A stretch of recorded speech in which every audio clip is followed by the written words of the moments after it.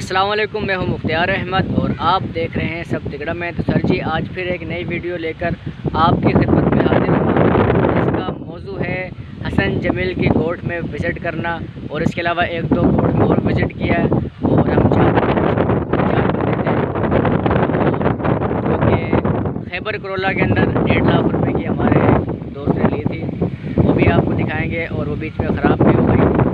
क्या ख्वारी उठाना पड़ी हमें, और कितना मज़ा आया, क्या इंजॉय किया। मैंने एक तस्वीरी डॉक्यूमेंट्री बनाई है, जो कि अभी आपको दिखाता हूँ। और जो मुकम्मल वीडियो है, वो दो तीन पार्ट्स तीन पार्ट्स में इंशाल्लाह उसको बनाऊँगा। फ़िलहाल आप एक विज़िट कर लें तस्वीरी डॉक्यूमेंट्री का, उसके बाद दिखाएँगे ठीक है, चलते हैं तस्वीरी डॉक्यूमेंट्री की तरफ़। तो सर जी, हम मेन गेट में दाखिल हो गए हसन जमील के, और ये फार्म हाउस है। जो कि शुरू में बहुत ज़बरदस्त लोकेशन है और ये साथ में बराबर मस्जिद है। ये बहुत ज़्यादा खूबसूरत हमें नज़र आ रही है। अंदर जाने का इतफ़ाक़ नहीं हुआ। ये बाबा रजाक साहब है जो कि जटिया पाड़े में रहते हैं और बहुत ज़्यादा गर्मी लग रही है इन्हें और ये वो मैदान है जहाँ पर लोग बैठ कर खाना खाते हैं। इस वक्त खा नहीं सकते क्योंकि इस वक्त गर्मी बहुत ज़्यादा है और आपकी तशरीफ़ जल सकती है। और ये दो बतखें हैं, काली और सफ़ेद, जिन्हें हम देखने के लिए इतनी दूर से आएँ और इन्होंने एक छोटा सा बच्चा भी दिया हुआ है, जो कि काफ़ी बड़ा हो चुका है। अच्छा भाई, चलते हैं आगे। ये ऊपर एक लोटा, नीचे एक पता नहीं क्या मटका रखा हुआ है। इसके अंदर अगर पानी होता ना, वो चल रहा था तो बहुत ही प्यारी लोकेशन देता। कोने में कबूतर बैठा हुआ है नीचे, दो बतखें बैठी हुई हैं, जो कि आपको शायद नज़र नहीं आ रही होंगी। ये हमारे जहर अली साहब है, जिनकी गाड़ी के अंदर हम बैठ कर आए हैं। और बहुत ही ख्वारी करने का सामना करना पड़ा, बहुत ज़्यादा ख्वार हुए हैं। लेकिन मज़ा भी आया है और इन्जॉय भी किया है। और जैसे भी हालात हो, इंसान को उसे इन्जॉय करना चाहिए। ये बाग की तरफ़ रास्ता जा रहा है भाई।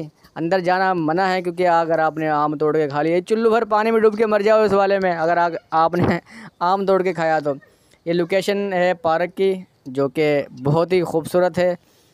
इधर जाने का इतफ़ाक़ नहीं हुआ। ये ये वो शख्स है जो तिगड़म टीवी का बानी है। इसे आप फ्रंट से भी देखें भाई। फ्रंट से दिखाएँ भाई। ये बहुत ही ज़बरदस्त लोकेशन में इन्होंने तस्वीर बनाई है और आप इनको जानते ही होंगे। ये भाई, ये वो दरख्त है जिससे बाँस बनते हैं और ये बाँस जो है ना अभी छोटे हैं। जब ये बड़े हो जाएँ तो मेरा हुकूमत सिंध से दरख्वास्त होगी कि ख़ुद ही ले लें बाँस ना, क्योंकि इनको इस बाँस की बहुत ज़्यादा ज़रूरत है और ऐसा पुल हमारे जटिया फाटक में भी बनना चाहिए। हर वक्त नीचे से लोग घुसते रहते हैं। अच्छा भाई, ये आम के दरख्त हैं, कराची वालों देख लो भाई, आम ऐसे लगते हैं, टंडा वादम वालों को तो पता है। और ये हरियाली आपने देखी नहीं होगी और आप लोग तरसते हो कराची वालों। तो ये कुछ तस्वीरें कराची वालों के लिए है। ये झोपड़ पट्टे और इसके अंदर बैठ के ठंडी हवा लेने से बड़ा ही मज़ा आता है भाई। एसी से बाहर निकल के भी एक ज़िंदगी है, जो कि बहुत ही अच्छा इसके पीछे रहती है कतरीना कैफ़, जो कि गार्ड्स बहुत ज़्यादा खड़े हुए थे, हम जा नहीं सके। ये कांटों वाला पेड़ है, जो कि जिन लोगों को कोरोना का कीड़ा हुआ हुआ है ना, वो इसके ऊपर बैठ जाए, इंशाल्लाह निकल जाएगा। ये बहुत ही पुराना पुल नज़र आ रहा है हमें, इसके ऊपर बंदे चलते हैं ऊपर से। तो यहाँ से हम निकल चुके हैं और हम आपस में बातें कर रहे हैं कि हमने विज़िट करके क्या बड़ा तीर मार लिया ऐसे फजूल के अंदर हम आ गए, गर्मी के अंदर, वेले लोग। तो हम वेले थे तो हम क्या बातें कर रहे हैं? आगे वीडियो जो मैं अपलोड करूँगा, उसके अंदर आप सुन लीजिएगा कि हमने क्या बातें की और क्या हमने टोपी ड्रामा किया सारा। तो अभी हम वापसी की तरफ़ निकल चुके हैं भाई। हसन जमील की गोट हमने विज़िट कर ली है, जो कि सिर्फ़ सॉरी जो कि सिर्फ़ पंद्रह बीस मिनट के अंदर हमने विज़िट कर ली है और हम यहाँ पर आए हबीब भट्टी के गोठ में, जो कि हमारे पास कुलीग है हमारे साथ काम करते हैं। हमने करोला की आपको तस्वीर दिखा दी, रेहान साहब जज्बाती हो रहे मैं भी चलाऊँगा भाई, तू हट। अच्छा भाई दो ढगे हैं, ये इन्होंने लिए हुए हैं बकरा ईद के लिए, कुर्बानी के लिए। किसी को अगर ख़रीदना हो तो मुझसे रबता कर लीजिएगा। ये हमने पिछवाड़ा दिखा दिया खैबर का, छियानवे अड़सठ कराची का नंबर है, जो कि बिल्कुल अच्छा रियान साहब को गर्मी लग रही दिल बन गए पीछे इनके ना। इसके ऊपर भी एक तस्ब तबसरा किया है, जो कि आप वीडियो में देख लेंगे। और ये पता नहीं क्या मांग रहे हैं। हमारे जुहर अली साहब, ये तो यही बताएँगे। अच्छा मंजी आ गई हमारे लिए ना? अब हम मंजी के ऊपर बैठ गए ना, जो हमने कचहरियाँ करनी है वो करेंगे, और यहाँ पर हम बोतल भी पियेंगे बैठ कर और अजीब ही तबसरे यहाँ पर बैठ के किए, जो कि आप आने वाली वीडियो में ख़ुद सुन सकते हैं। तो ये मंजी पे बैठ गए, भाई, रजाक साहब और अली साहब बैठ गए। मैं तस्वीरें बना रहा हूँ, और रेहान साहब जो हैं, वो कुर्सी के ऊपर बैठे हुए हैं। तो भाई ये हमारे लिए बोतल आ गई है। भर भर के गिलास पिए हमने। इससे पहले नलके का पानी पिया जो कि ठंडा और मीठा था और बहुत ही ज़्यादा खूबसूरत था। अच्छा जी रजाक साहब सोच रहे हैं, मैं इनके साथ आगे फंस गया हूँ। ये ख़ुद तो फारिग है और मुझे भी यहाँ पर लेके आ गए। रिहान साहब बोला, शुक्र है हमारी बीवी नहीं है, नहीं तो मुझे भी यहाँ पछताना पड़ता। और ये अकेले बहुत ही इंजॉय कर रहे हैं। इनका भी यही ख्याल है कि भाई मेरी भी बीवी नहीं है। हम भी इंजॉय करें, जिनकी बीवियाँ हैं वो परेशान हैं। ये पीछे लोग काम कर रहे हैं यार बहुत ज़्यादा सख्त गर्मी है और इनको सलाम है क्या सख्त गर्मी में काम कर रहे हैं। और हम तो शहर वाले लोग जो है ना, वो पागल हुए बैठे हैं कि हमें इतनी गर्मी चढ़ गई है, ये हो गया, वो हो गया। तो यहाँ पर भाई बहुत इन्जॉय किया, यहाँ एक लोकेशन है, दरख्त के नीचे बैठे हुए ठंडी हवा आ रही है और ठंडे पानी से हाथ मुँह धोया हमने नलके से। तो यहाँ पर इस गोठ में बकरियाँ हैं रिहान साहब की, जो कि उन्होंने पाली हुई हैं, किसी को दी हुई हैं। खुद तो पाल सकता नहीं है बंदा ये, किसी को दे दी उठा के ना। तो हर महीने पंद्रह दिन में इसे देखने के लिए आता है, प्यार मोहब्बत करने के लिए बकरियों के साथ। और इनको हाथ वाथ फेर के इनको रवाना कर दिया जाता है। ये इनका हर महीने का टूर है। तो ये बकरियाँ जा रही हैं और हम भी यहाँ से चलते हैं अब दूसरे गोठ में। अच्छा भाई, गोठ में पहुँचने से भाई अजीम वो घर है जहाँ पर थापियाँ, गोबरों की चिपकाई हुई लोगों ने। गाँव के लोग गोबरों से, यानी कि थपेड़े लगा के दीवारें पर चिपका देते हैं और इससे फिर जब सूख जाती हैं तो रोटियाँ बनाते हैं और फिर वो रोटियाँ खाते हैं। अच्छा भाई, आगे टिड्डी दल भाई हमला कर दिया यहाँ पर। टिड्डी दल बहुत हैं जो आपको आपको नज़र आ रही होंगे आसमान पर और इन्होंने बड़ा गर्क कर दिया। अल्लाह पाक हमें से बचाए। ये सामने झुपड़पट्टी में लोग रहते हैं और कैसे रहते हैं, कैसी अजीब ज़िंदगी है इनकी। हमें इनको देख कर अल्लाह का शुक्र अदा करना चाहिए।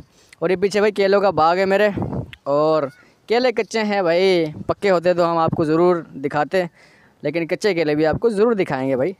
देखते रहिएगा। और हमने यहाँ पर भी कुछ दो तीन बकरियाँ छोड़ी हुई हैं, रेहान भाई ने, और वो उनसे मिलने के लिए आए, हाल हवा लेने के लिए आए, और माशाल्लाह बकरी बहुत ज़्यादा खूबसूरत है। तो आप भी एक बकरी पालें, और बकरी पालना सुन्नत रसूल भी है, और ये बरकत वाला काम है। पार्ट टाइम यानी कि आप ये काम कर सकते हैं इन इसमें बरकत होगी। खुद ही बकरी का दूध निकाल के पिएँ, बच्चे भी देती हैं, भाई बकरियाँ। रेवड़ी भी बन सकता है। ये हमारे करोला भाई, बड़ा जलील कराया इस करोला ने। आगे चल के आपको खुद पता चल जाएगा। लेकिन सही पता चलेगा आपको वीडियो के अंदर, जो कि हमने रियल वीडियो बनाई है। तो एक तस्वीरी डॉक्यूमेंट्री बनाई है। ये केले हैं भाई, कच्चे केले। कराची वालों, देख लो, कच्चे केले देख लो। ऐसे ऐसे लगते हैं केले। किलो के हिसाब से मिलते हैं कराची में केले। तो भाई यहाँ हमारी गाड़ी ख़राब हो गई, सामने नहर है और यहाँ पर गाड़ी रुक गई है, बीच बिचाले रोड गए और बिल्कुल गर्म हो गई है पाइप फट गया है कोई। पाइप फटने की वजह से सारा पानी लीक हो गया है और ये हम ढक्कन खोल के दिखा रहे हैं अली साहब, ये बेड़ा गर्क हो गया है। हूँ की करिए पई हूँ किधर जाइए? असी फंस गए थे, लेकिन हमने हिम्मत नहीं आ रही हम खुद ही जुगाड़ करते रहे। और ये तीनों सर जोड़ के खड़े हो गए कि अब किस तरह यानी कि इसको सही किया जाए और चलाया जाए और मंजिल मकसूद पर पहुँचा जाए। उसके बाद जो काम इसका काला मुँह करना है, फिर बाद में करते रहेंगे। फ़िलहाल यहाँ से निकलें सारा पानी ख़त्म हो चुका है, गर्म हो चुकी है पाइप फट गया है नीचे से, देखें, पानी निकल रहा है। आपको स्क्रीन पर नज़र आ रहा है। और ये बोतलें सारी हमने भर दी हैं, नीचे से निकलता रहा, ऊपर से डालते रहे। लेकिन बराबर में ये अल्लाह का शुक्र है कि नहर है। नहर से हमने बोतलें भर भर के ना इसके अंदर भर दी हैं और नीचे बिल्कुल चपड़ चूद कर दिया नीचे ना? चिकड़ी चिकड़ कर दिया भाई। गोडा गोडा पानी हो गया नीचे। कार भी कह रही है, बस कर दो, नहर कह रही है। भाई मेरे सारा पानी नहीं निकालो। लोगों ने यहाँ खेतों में भी देना होता है। ये बोतलें वोतलें सब निकाल दी हैं। और ये टेप लगाया जा रहा है भाई। ये पाकिस्तानी जुगाड़ है। पाकिस्तानी कौम ऐसी कौम है। कहीं भी अपना जुगाड़ लगाकर अपना काम कर सकती है। तो भाई ये फिर पानी डाला हमने टेप लगाने के बाद। आपको नज़र आ रहा है। पसीने छूट गए हैं इधर। और मसरूफ़ हैं गाड़ी सही करने के अंदर। हिम्मत नहीं आ रही है कौम। ये देखे पानी, सर जी। अगर आपने पानी नहीं देखा ऐसे गिरा हुआ ये मेन रोड पे गिरा हुआ है। बहुत गर्मी है। ये रिहान साहब, ये क्या कर रहे हो भाई? बहुत गलत बात है ये। ऐसा नहीं करना चाहिए था आपको। आपने उनके झुकने का नाजायज़ फ़ायदा नहीं उठाना चाहिए था। हमें बहुत अफसोस हुआ, ये तस्वीर देख ये लाल टेप आपको नज़र आ गया, यहाँ जोड़ दिया। अब हम रवाना होते हैं अपने घरों की तरफ़। अल्लाह का शुक्र है कि गाड़ी ठीक हो गई है और हम घर जा रहे हैं और अपनी बकवास में ये बंद कर रहा हूँ। ओके, अल्लाह हाफिज़। अस्सलाम